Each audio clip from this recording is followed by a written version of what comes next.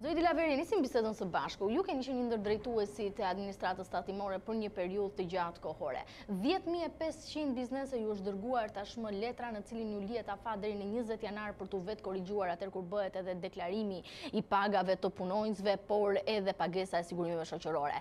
Duke pasur në tërësi biznesin, por edhe numrin e të punësuarve, sektorët, kjo shifër që ju ka vajtur letra është e konsiderueshme?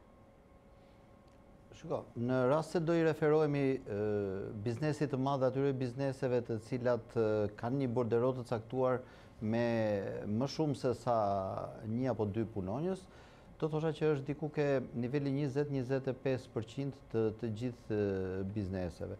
Por unë doja ta filloj aty ku Më ngacmoi kronika dhe është shumë e rëndësishme për ta thënë sepse u, de, u duk ose u deklarua sikur nga rrjedhja e informacionit të pagave dhe në fakt kështu është trajtuar edhe edhe nga kryeministri kur e ndërmori si iniciativë ose hodhi hapin e parë sikur u zbuluan pagat.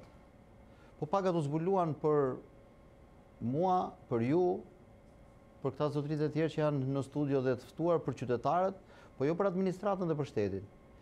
Dhe nuk është se ato paga nuk i kanë ditur. Ato paga janë në dritën e diellit për administratën, për inspektorë të caktuar dhe për ata që drejtojnë administratën.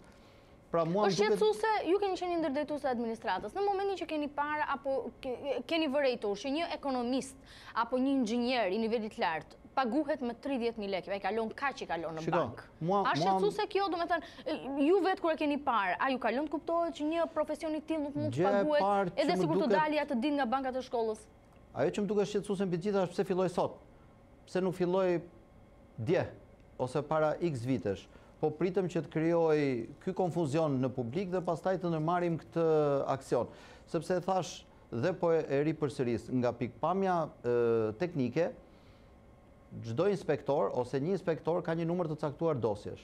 Dhe nëse ti pranon sot që ka evazion fiskal dhe i ke çuar 10.000 subjekteve letër, Pra, ti dyshon që ke ato subjekte ka evazion, e para duhet të merresh me inspektorin tënd.